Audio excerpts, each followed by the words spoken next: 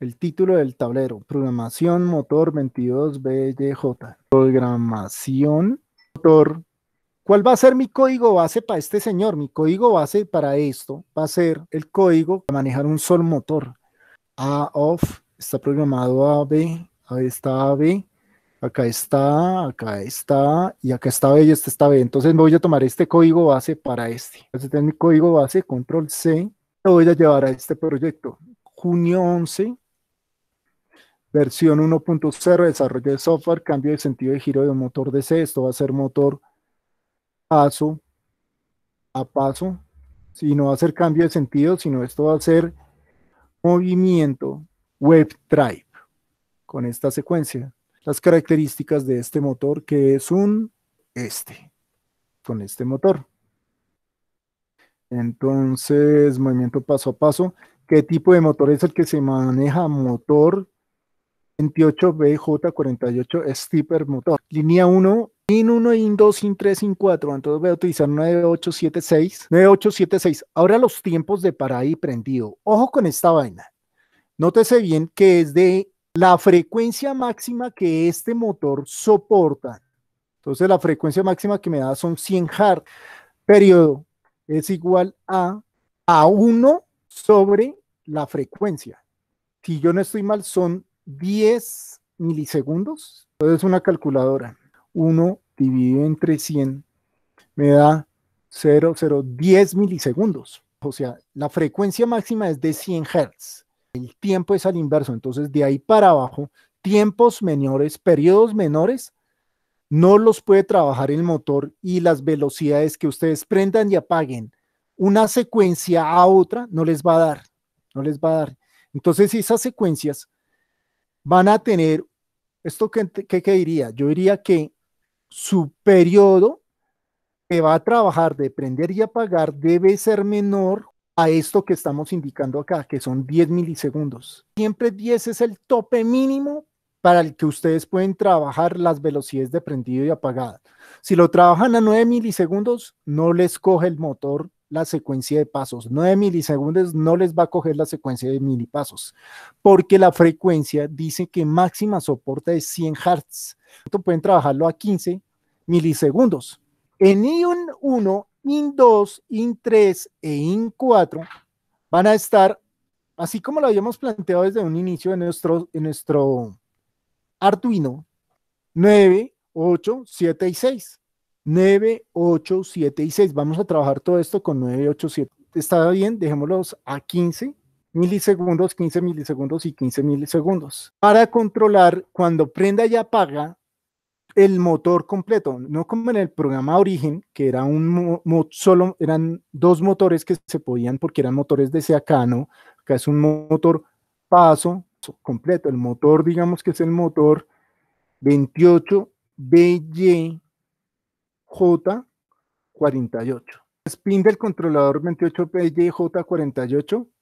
Azul va a ser 9, 8 va a ser rosado, 7 va a ser amarillo y 6 va a ser naranja. Bien, todos están de salidas. Y en el boy loop que vamos a empezar a trabajar. La secuencia, pues ¿qué, secuencia se quería trabajar de acuerdo a este tablero? Yo creo que esto es mejor como que lo trabajemos aquí en partida de la pantalla. Entonces el título del código lo voy a colocar motor, tipo, guion piso, wave, drive. No, está mal ahí. Lo copié mal de aquí. Entonces lo de, coloquémoslo de acá. Saquémoslo, jalémoslo de aquí y viene control C tipo web drive, ¿vale? Pues ya ahí quedó web drive, ¿cierto? Eh, motor, este motor, pero este motor va a ser paso a paso tipo, va a ser tipo qué? Tipo wave drive, ¿listo? Salve todo por si acaso. Digital drive, in 1, low, high, in 2, tiempo de prendido, tiempo de apagado, pero esto viene para quién? Esto va a ser para, como lo tenía en mi código, acá para un web drive, arranca con, ¿qué secuencia? 1000. 10000. Entonces acá creo que me falta meter más código en toda esta parte. Output, salidas, y en esas eh, salidas van a estar como eh, en el setup van a estar eh, como output, ¿cierto? Van a estar como output in 1, in 2, in 3, in 4. Bueno, después de que ya haya programado esto, ¿sí? Si in 1 es salida, in 2 es salida, in 3 es salida, in 4 es salida para el modo, ¿sí?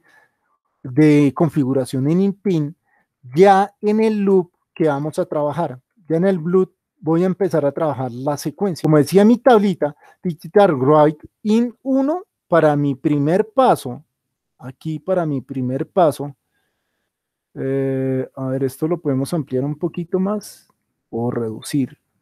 eso, para mi primer paso debe estar in 1 en height alto,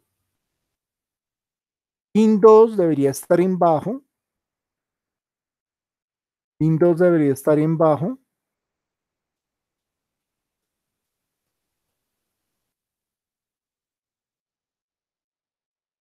In 3 debería estar en bajo, si no estoy mal.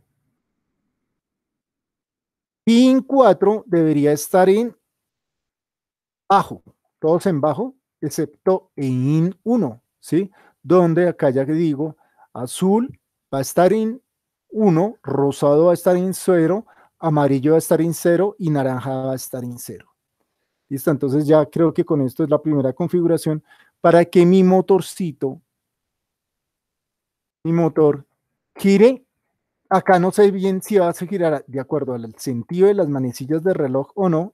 Voy a colocar por ahora sentido manecillas de reloj. Ya después cuando lo programe ahí me voy a dar cuenta para dónde va a arrancar. Si está hacia un lado, hacia el manecilla de reloj o antirreloj. Y lo apago. Y le daría time B off, ¿vale? Todavía lo estoy apagando. Bueno, estén todos en el mismo tab, que queden todos al mismo tab, veamos. Esta es la primera secuencia para el movimiento del paso 1. Esta es la secuencia de movimiento para el paso 1. Entonces diría, acá falta también describirlo mejor, diría secuencia del movimiento paso 1, como está escrito en el tablero, movimiento de secuencia del paso 1. Eh, todo esto, cojo control C y lo empiezo a copiar más abajo. Entonces todo esto lo voy a empezar a copiar por aquí más abajo. Después de nuestro delay, entonces estos son los tiempos de parada. Entonces acá, esto lo vamos a comentarémoslo, ¿vale? Comentaremos, de tiempo de parada de paso a paso del motor. ¿Qué motor? Del motor de este motor. Tiempo de parada en paso de motor de este, motor. Ahora, siguiente, cojo y copio control C y pegamos esto nuevamente. ¿Vale? Entonces, eh, esto va a ser secuencia del movimiento paso 2. Va a ser la primera secuencia de movimiento de paso 1, paso 2. Y en el paso 2 el que va a variar va a ser B. Entonces aquí el siguiente sería, este va a ser en high ¿cierto? Y el anterior va a estar en low. Low, high, low, low. ¿Vale? No sé si pin 9 va a estar en salida. Pin, a ver, arriba pin 9 va a estar en salida como, acá está mal, estado alto. Electrónica digital sería 5 esto sería 1 en electrónica digital, salida a estar en estado alto electrónica digital 1, electrónica análoga, con tilde en la A, eh, le voy a quitar la, eh, la, tilde, análoga, rango, va a estar en, eh, va a estar desde 3.3, uy, acá se movió toda esta vaina, va a estar desde 3.3 voltios a 0 voltios para nuestro módulo Arduino 1, ¿sí? Ahora sí el resto va a estar en los ceros análogos en nuestro Arduino 1 van a ser este, este y este. Entonces, uy, ¿yo dónde varía esto? Entonces, espérese que varía esto mal. Secuencia del movimiento de paso 1, giro motor 20, 28 BYJ 48 sentido manecillas de reloj, digital write in 1, height, esto es un estado alto en electrónica digital, una electrónica análoga, rango de 0 a 1.5 voltios, ¿vale? El 2 va a ser un bajo, un load, o sea que la salida va a estar en ceros, sería todo esto que tenemos aquí, eh, todo esto que tenemos aquí va a ser la electrónica análoga a todo esto. Esto es electrónica digital y análoga. Entonces el pin 8 va a estar pin 8 va a estar como salida en estado bajo de electrónica digital. Electrónica análoga va a ser de 0 a 0 a 1.5 voltios. Y pin 4 también va a estar aquí en pin in 4, que va a ser pin 9, pin 8, pin 7.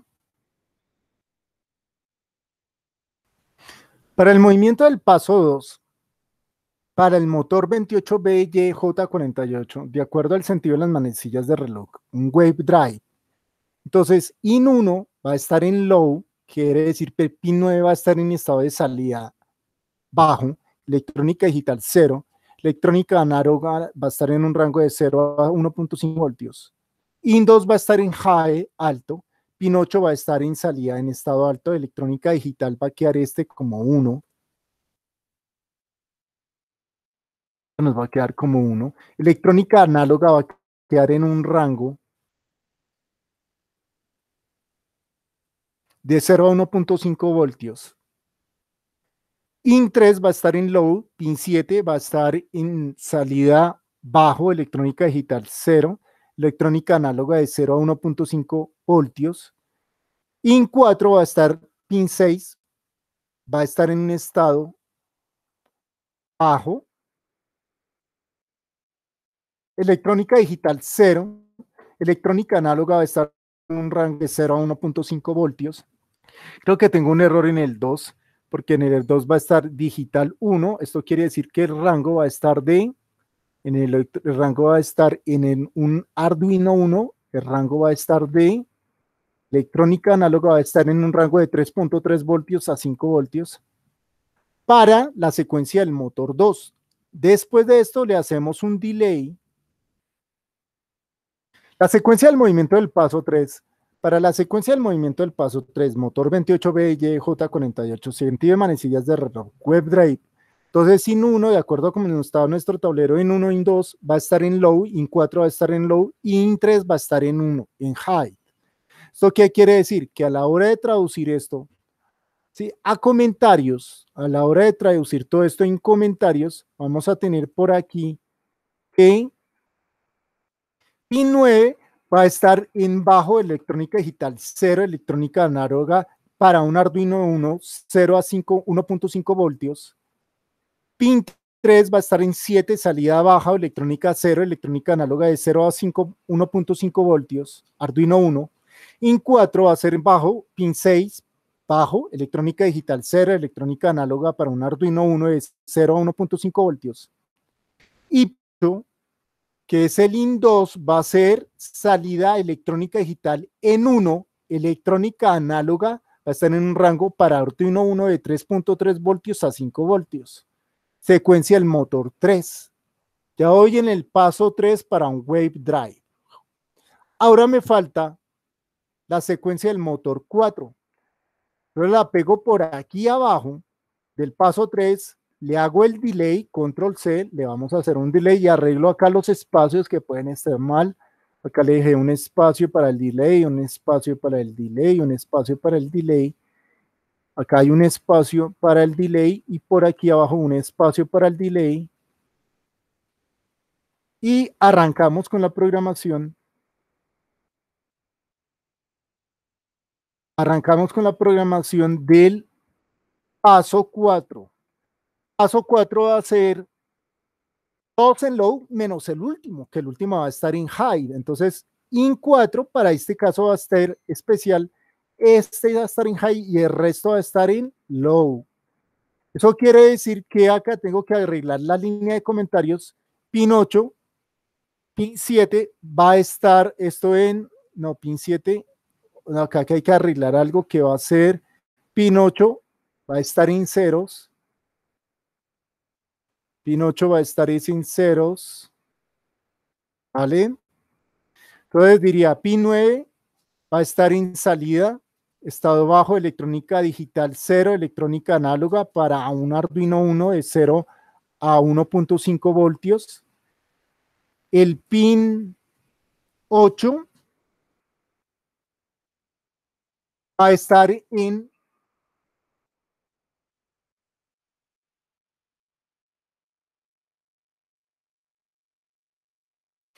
salida, estado bajo, electrónica digital 0, electrónica análoga de 0 a 1.5. Eh, estoy en qué parada, 4, IN 3 debería estar igual. Entonces, IN 3 debería estar en IN 7 va a estar en salida de estado bajo, electrónica digital 0, electrónica análoga de 0 a 1.5. Y IN 4, ese sí va a estar prendido. Entonces sí va a estar prendido. O sea que en línea de comentarios, ¿qué haría el pin 6 prendido?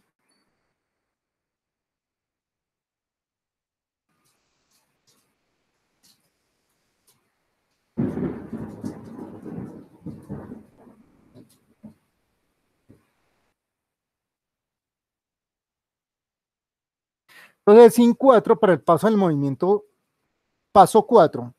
In 4 quedaría, acá falta un paréntesis, me lo comí. In 4 quedaría en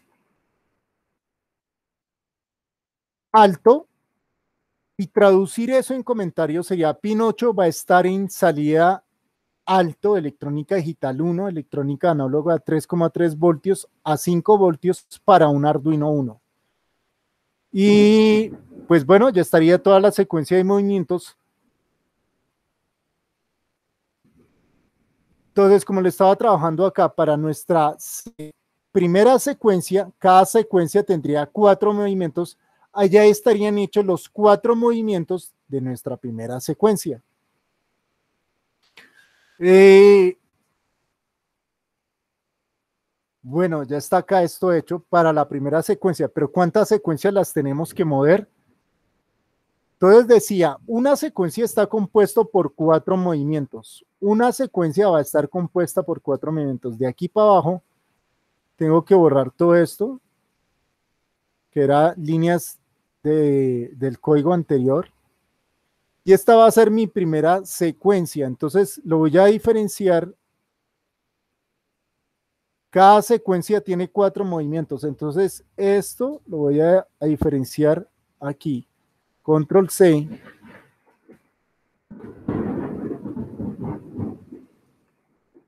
Y esto que estamos colocando acá con, con, es con asteriscos va a ser secuencia, una secuencia, toda la programación que hace una secuencia.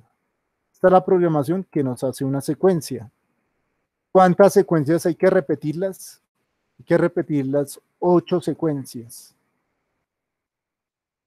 Tenemos que repetir estas ocho secuencias. Pueden coger todo este código y copiarlo ocho veces o hacer otra que puede ser algo más fácil. ¿Sí? Todo este código que estoy cogiendo acá lo podrían copiar ocho veces. ¿Sí? Pero creo que hay otra que es más fácil, que es hacer un for. Y empezamos a trabajar los for. Un for es como un ciclo que se repite desde un tiempo hasta un, desde un, desde un índice hasta un índice. Entonces vamos a hacernos un for. Acá voy a dejar esto como un for, ¿sí? Un ciclo que se repite desde un cierto periodo hasta un cierto periodo. Entonces vamos a dar nuestros indicadores del índice, ¿cierto?